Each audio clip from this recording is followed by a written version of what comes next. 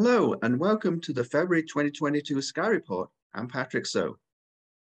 There is only one planet left in the evening sky. On the 2nd, the two-day-old waxing crescent moon is about 4 degrees from Jupiter. Jupiter will not be visible in the evening for much longer. It will disappear from the evening sky after the 20th, when it becomes lost in the sun's glare. This is the last time to see Jupiter and the moon in the evening sky for a while.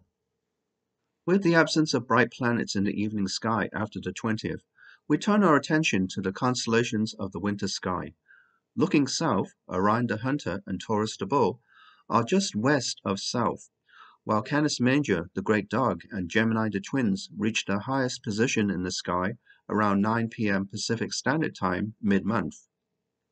Orion is the most recognizable constellation. Its bright stars are visible even under bright city lights. This picture was taken from Griffith Observatory. Orion consists of three stars in a row, marking the Hunter's Belt. The belt is surrounded by four bright stars. The reddish star Betelgeuse and Bellatrix are above the belt stars, and Saiph and Rigel are below the belt. Drawing a line downwards from the belt, you'll find Sirius, the brightest star in the night sky, in the constellation Canis Major, the Great Dog.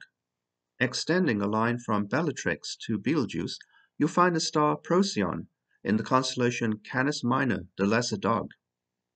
The Great Orion Nebula, or M42, is just below the belt. The nebula can be seen easily through a pair of binoculars or a small telescope.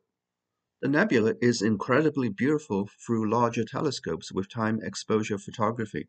This image was taken by our telescope demonstrator, Anthony Perkett. Looking south in the early morning sky, the spring constellations, Leo the Lion and Virgo the Maiden, are to the southwest.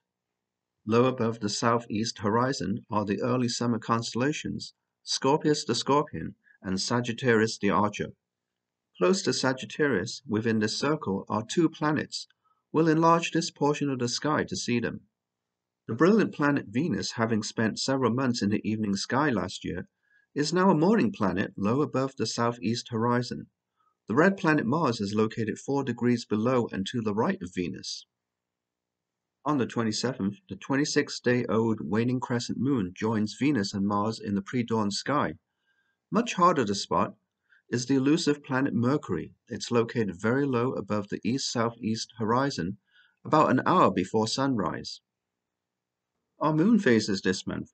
First quarter is on the 8th, full moon is on the 16th, and last quarter is on the 23rd.